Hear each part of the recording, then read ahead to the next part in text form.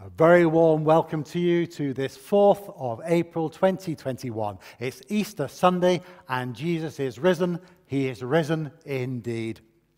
We're gathered together to worship with words from Psalm 67, which begins and ends with these refrains God be merciful unto us and bless us, and cause his face to shine upon us.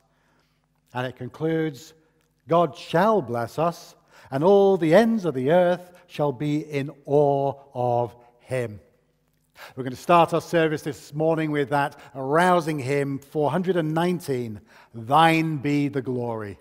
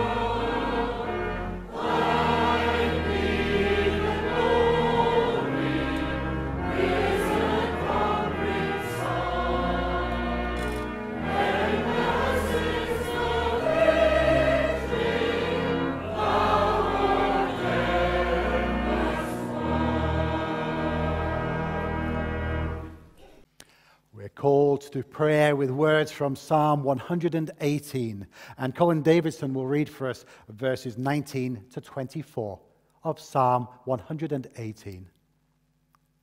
Open for me the gates of the righteous. I will enter and give thanks to the Lord. This is the gate of the Lord, through which the righteous may enter. I will give you thanks, for you answered me. You have become my salvation. The stone the builders rejected has become the cornerstone. The Lord has done this, and it is marvellous in our eyes. The Lord has done it this very day. Let us rejoice today and be glad. Amen. Thank you, Colin. Let us pray. Lord of life and power, through the mighty resurrection of your Son, you have overcome death and open the gate of everlasting life. Grant that we, being dead to sin and alive to you in Jesus Christ, may reign with him in glory, who with you and the Holy Spirit is alive, one God, now and forever.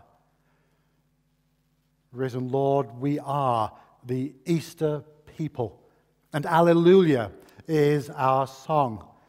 We are the Easter people come to worship, released from tombs of pain and doubt and fear and death into the freedom of this new day and its promise of hope fulfilled. We are the Easter people emerged into the brightness of faith, blinking, questioning, wondering, hoping. Come to us into the garden of our lives and touch all that is barren and wasted and dried with your healing hand.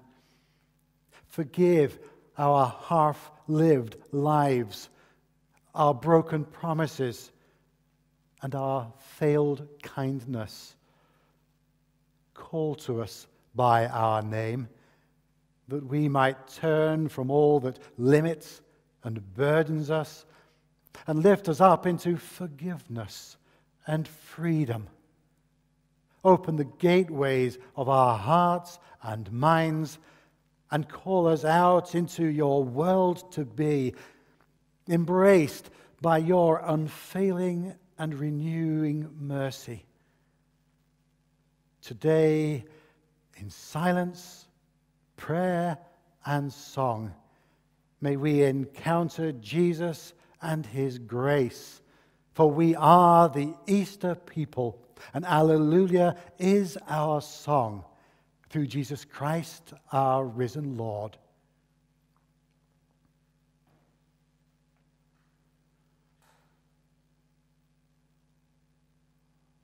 Lord Jesus Christ, Come stand among us, that we might see you by our side, that we might hear you call our names, that we might now, on this heady day of joy, be still right now and know that you are God. We give you heartfelt thanks from our full hearts.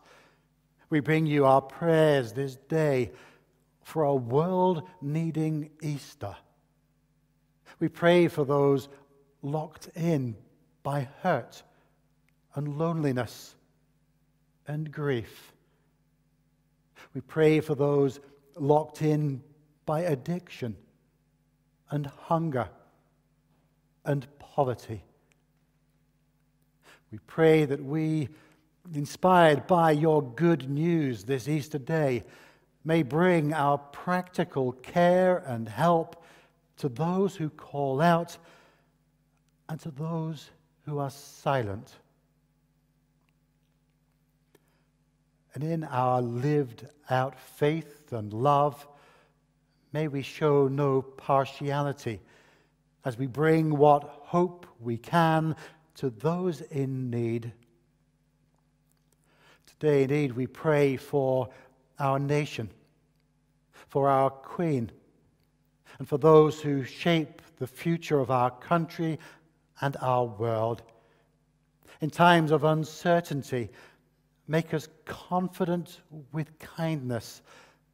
In times of frustration, make us gentle with vision. Help us to be the Easter people, bringing light into our world. Lord Jesus Christ, for the church, we pray that in our work and witness, we may be generous in our believing and joyful in our serving. Help us to blend tradition and newness, to keep our faith and work, a power for good, and a dynamic for reconciliation and renewal. This Easter day, this new beginning, this time of lifting up, Lift up our heads and hearts. Lift up our eyes and our voices. For our Lord Jesus Christ is risen, and there is hope through Jesus Christ our Lord. And now we thank you for giving us Jesus, and that today we might remember him with bread and with wine and with jubilation. So we pray together with the words that he taught us, saying, Our Father, who art in heaven, hallowed be thy name. Thy kingdom come, thy will be done on earth as it is in heaven. Give us this day our daily bread, and forgive us our debts as we forgive our debtors. And lead us not into temptation, but deliver us from evil. For thine is the kingdom, the power, and the glory forever. Amen. Now, all after, over these uh, recent weeks, we've been hearing from Drama-Kirk, uh, from the Rhyming Bible, written by uh, Bob Hartman, uh, a, a, variety of excerpts from that book, uh, published by SPCK. That's the Society for Promoting Christian Knowledge, and they're performed under license uh, to that publishing house. And today we hear Drama-Kirk reciting the last of our excerpts, No More Crying.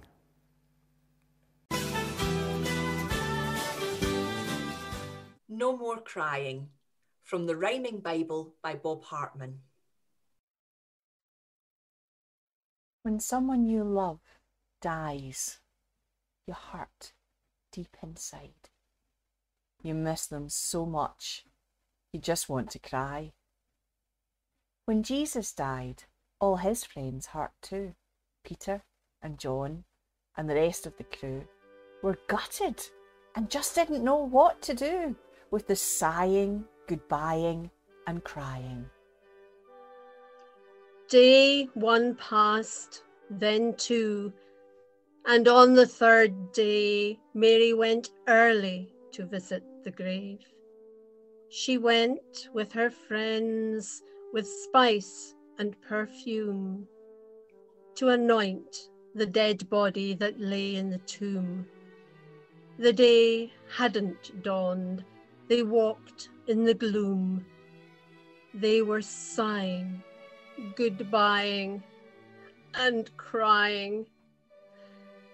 But when they arrived, they were filled with dismay. The tomb had been opened, the stone rolled away. They ran and told Peter, they ran and told John. They've stolen his body. Jesus is gone. They've taken him somewhere. Don't know what to do. Still sighing, goodbying, and crying. So Peter set off, but John, with a burst, sped straight past his friend and reached the tomb first. He didn't dare enter, just stuck his head in. Only burial cloths? Where Jesus had been? What's happened? He wondered, his head in a spin, sighing, goodbying, and crying. Then Peter arrived and, without delay, walked into the tomb. And where Jesus lay were neatly stacked sheets and the cloth from his head. Like Jesus had woken and made up his bed. Was it possible Jesus was no longer dead? No more sighing, goodbying, and crying?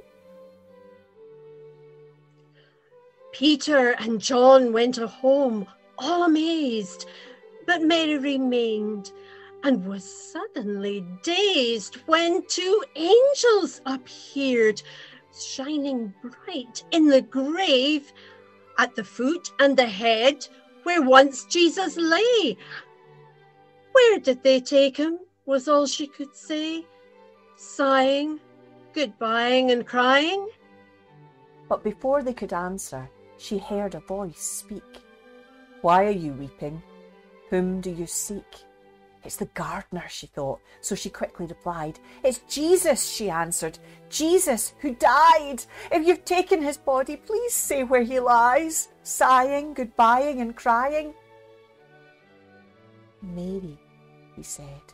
Oh, what a surprise! It was Jesus behind her. Jesus! Alive! Teacher, she gasped. But he told her to go. Tell all my friends what you've seen.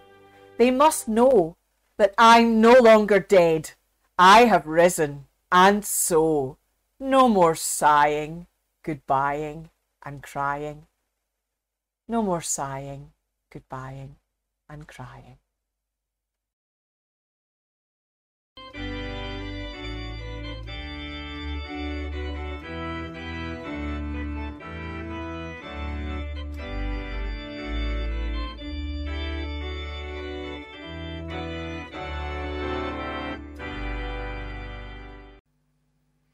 I hope you enjoyed that as we think about both communion today, but especially Easter Day. And you might have noticed that we haven't got our candles today. We've been following through with our candles all through Advent and Epiphany and Lent, just to bring us that extra little bit of cheer. But today, of course, being Easter Day, we've no need of the candles because we have the cheer of Christ Himself on this Easter Sunday, remembering that He's risen and that He's with us in our hearts, bringing us joy and bringing us cheer. And so I hope that we might be encouraged as we think on these things. Well, our children are now going to go to Sunday Live. Our Sunday leaders, leaders should be uh, ready for them. Our Sunday Live leaders should be ready for them. So I pray that you'll be blessed as you enjoy that together. And we'll catch you uh, later again. Until then, God bless and take care. Cheers now. We're going to listen also now to a reading of the Gospel of Matthew. And Marilyn Henderson is going to lead us in that reading of Matthew 28, the last chapter of the Gospel of Matthew, and the first 10 verses. Marilyn. Reading Matthew 28, verses 1 to 10 from the New International Version. After the Sabbath, at dawn on the first day of the week, Mary Magdalene and the other Mary went to look at the tomb. There was a violent earthquake, for an angel of the Lord came down from heaven, and going to the tomb, rolled back the stone and sat on it. His appearance was like lightning, and his clothes were white as snow. The guards were so afraid of him that they shook and became like dead men. The angel said to the woman, Do not be afraid for I know that you are looking for Jesus who was crucified. He is not here. He has risen, just as he said. Come and see the place where he lay. Then go quickly and tell his disciples, He has risen from the dead and is going ahead of you into Galilee. There you will see him. Now I have told you. So the woman hurried away from the tomb, afraid, yet filled with joy and ran to tell his disciples. Suddenly Jesus met them. Greetings, he said. They came to him, clasped his feet, and worshipped him. Then Jesus said to them, Do not be afraid. Go and tell my brothers to go to Galilee. There they will see me. Amen. May God bless you as these readings of his holy word. Amen. Thank you, Marilyn. Now, in preparation for our communion a little bit later, we're going to recite the Apostles' Creed together, saying, I believe in God the Father Almighty, creator of heaven and earth. I believe in Jesus Christ, God's only Son, our Lord, who was conceived by the Holy Spirit, born of the Virgin Mary suffered under Pontius Pilate, was crucified, died, and was buried. He descended to the dead. On the third day, he rose again. He ascended into heaven. He is seated at the right hand of the Father, and he will come to judge the living and the dead. I believe in the Holy Spirit the Holy Catholic Church, the communion of saints, the forgiveness of sins, the resurrection of the body, and the life everlasting. Amen. Let us pray. May the words of my mouth and the meditation of all our hearts be acceptable to you, our Lord, for you are our stronghold and our Redeemer. Amen. In our Bible reading today, we are exposed to fear and joy. We're on hallowed ground. And I don't want to dilute uh, the uh, passage we have there with my own comments too much. But I wonder in what circumstances we might have felt anything approximating what those first Easter people experienced. In what circumstances might you experience both fear and elation? In circumstances such as anticipating a child, perhaps? And then the new arrival, the excitement of a new life, and then telling everybody about it. Or maybe in more mundane circumstances, a driving test, and then passing, and again wanting to let everybody know as you share the news. Or anticipating a roller coaster, maybe at Blackpool or M&D's, perhaps as it climbs higher and higher and higher up to that precipice almost before setting off at an increasing rate of knots with that feeling in the pit of our stomach. And then finally, when we eventually get off, perhaps with wobbly legs underneath us, maybe ready to do it again? Maybe not. Or maybe telling people of your experience. You've just got to see this both the fear and the elation in the middle of a similar circumstance. We have two of these extremes in our reading today. And if you've been following along with the Holy Week services uh, led from St. John's, then perhaps you've had a bit of a sense of the story as we've listened to various facets of it throughout this week. This morning, we're considering Matthew's account in isolation. Because he relates that there was a, an angel coming to roll away the stone that was accompanied by an earthquake, and the, st- the stone is dislodged.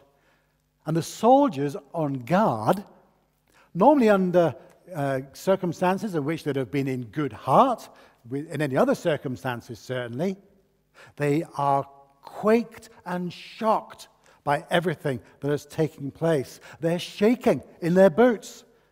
It's as if they were struck dead by the events that are unfurling in front of them because of their incredible fear of something they've never experienced before. Yet, to the women who attended the grave, the angel said, Do not fear. And perhaps as a consequence, when they left, they left with a, a mixture of fear but also excitement.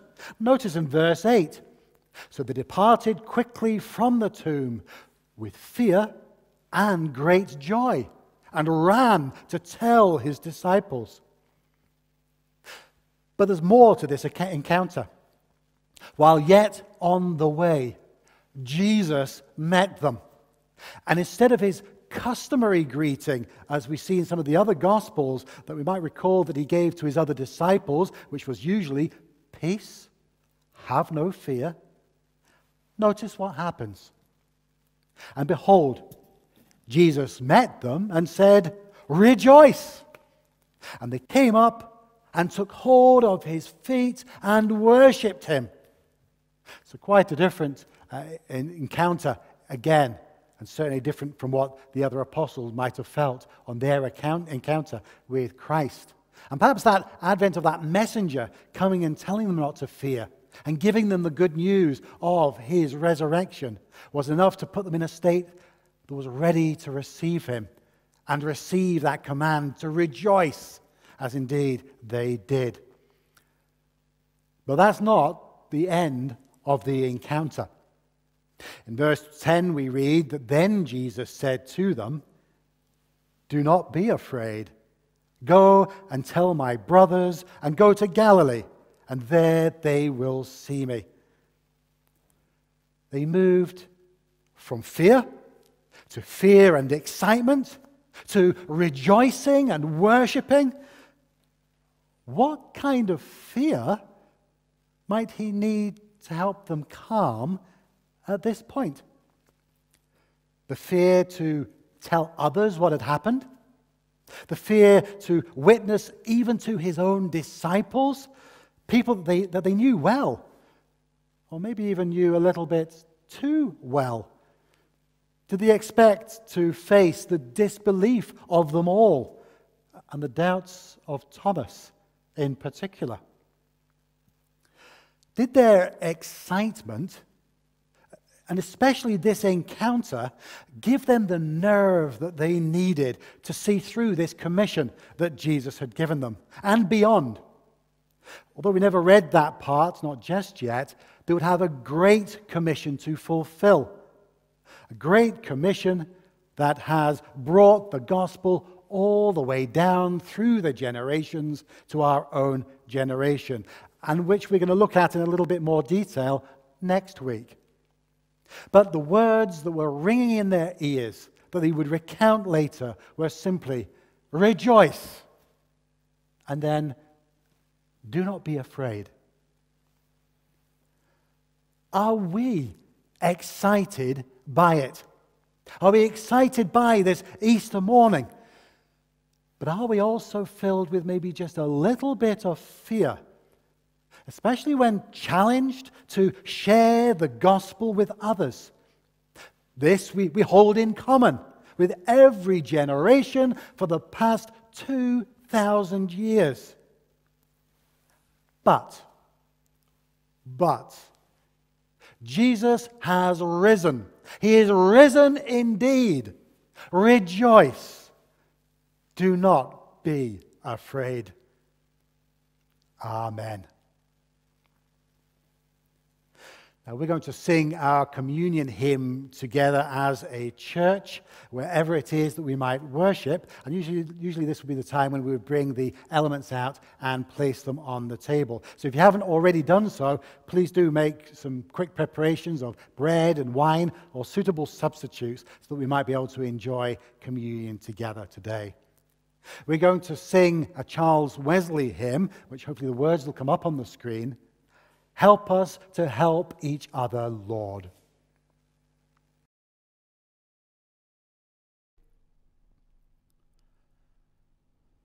Help us to help each other, Lord, each other's cross to bear.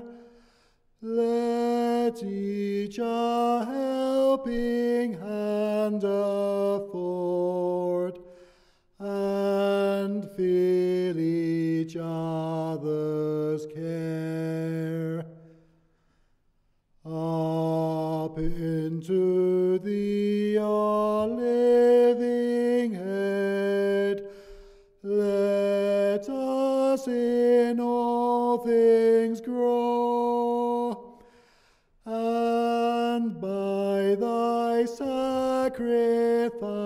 sacrifice be led, the fruits of love to show. Drawn by the magnet of thy love, let all our hearts agree and ever towards each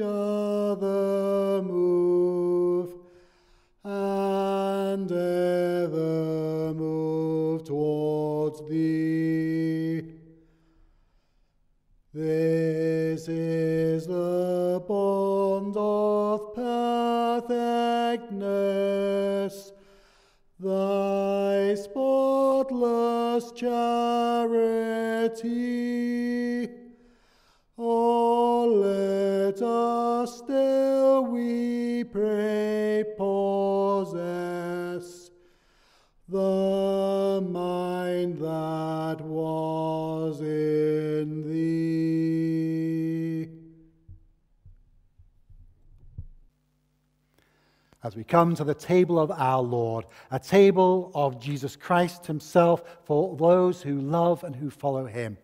We remember Him until He returns. And this Easter morning, as we remember Him in this particular way, it's hard perhaps to think back on the events of the Last Supper itself, because today we're full of the resurrection. But uh, Jesus told us that he would uh, drink new wine in the kingdom of his Father. And so we have the delight of sharing in this table that represents both his covenant and that's a new wine that we will yet drink all together in heaven itself. We remember him until he comes. The Apostle Paul tells us what's called the institution of that meal, the Lord's Supper. In 1 Corinthians chapter 11, this is penned. The tradition which I handed on to you came to me from the Lord himself.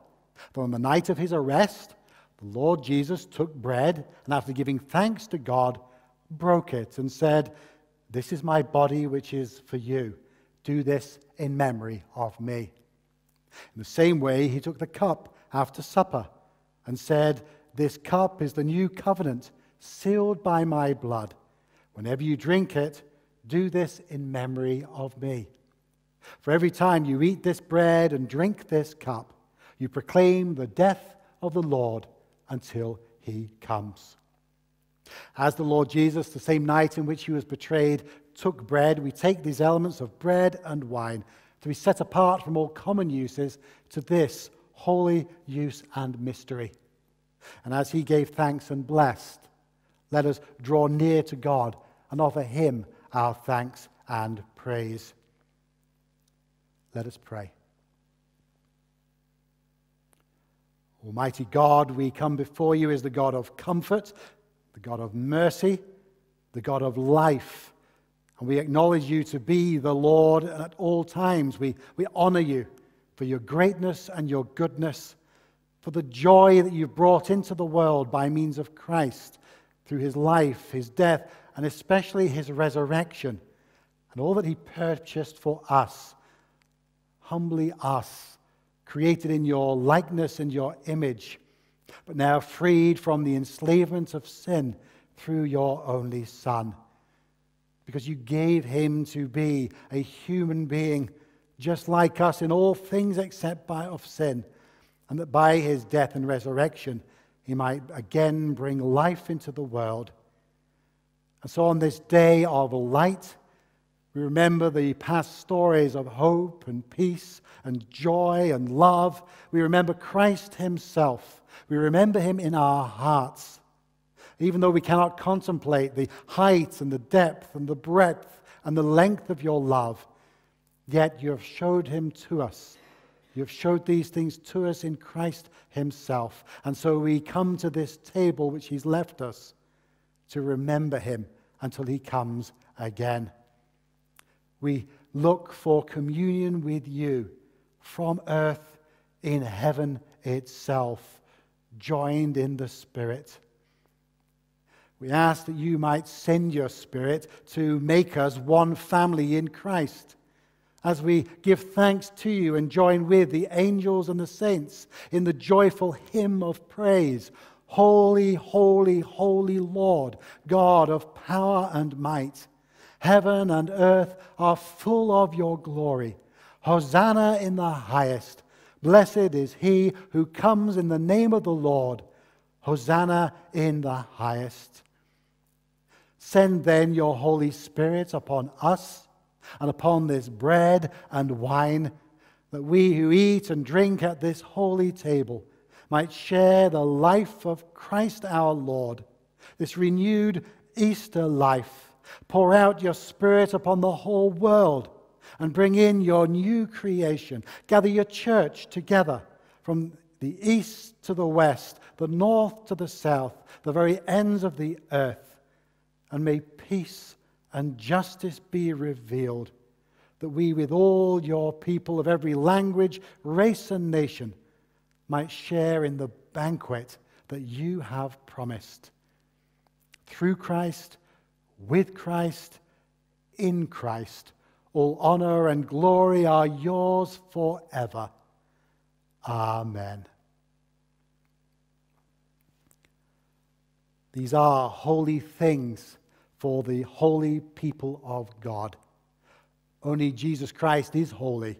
We are made holy in him. Now, according to the holy institution example, the very command of our Lord, and as a memorial of him, we do this. Who, on the night in which he was betrayed, took bread, and when he had given thanks, he broke it and said, This is my body, which is broken for you. Do this in memory of me. And in the same way, he took the cup, saying, This cup is the new covenant, sealed by my blood. Whenever you drink it, do it in memory of me. Jesus, Lamb of God, have mercy on us. Jesus, bearer of our sins, have mercy on us. Jesus, Redeemer of the world, grant us your peace. Draw near with faith. Receive the body of our Lord Jesus Christ, which was given for you, and his blood, which was shed for you. And feed on him in your hearts by faith with thanksgiving, even rejoicing. For Jesus is risen, he is risen indeed. Taste and see that the Lord is good. Happy are those who find refuge in him. Body of Christ broken for you. The body of Christ broken for you. The body of Christ broken for you.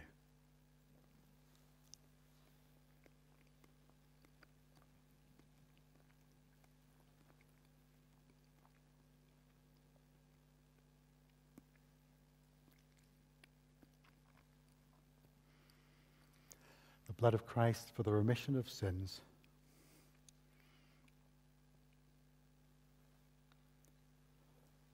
The blood of Christ for the remission of sins.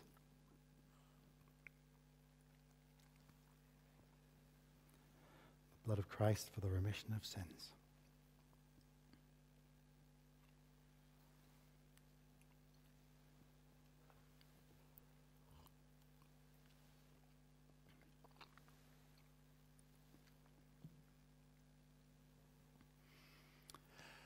Told in another place in Scripture that on the evening of that first Easter day, the disciples were gathered together once more in an upper room. And Jesus, on that occasion, told them, Peace, have no fear. And so let us, in the name of our risen Lord Jesus Christ, grant one another and extend to one another the peace of Christ. The peace of Christ. The peace of Christ. The peace of Christ.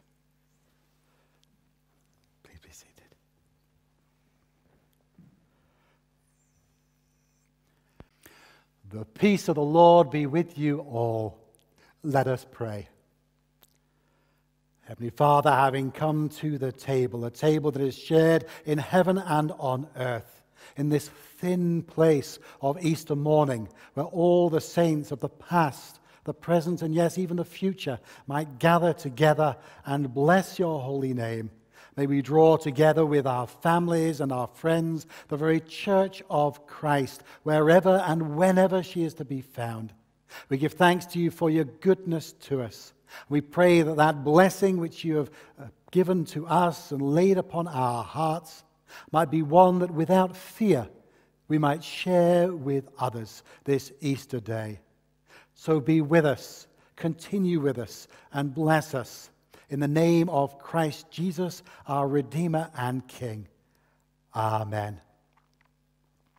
We're going to conclude our service this morning singing the hymn, Come People of the Risen King.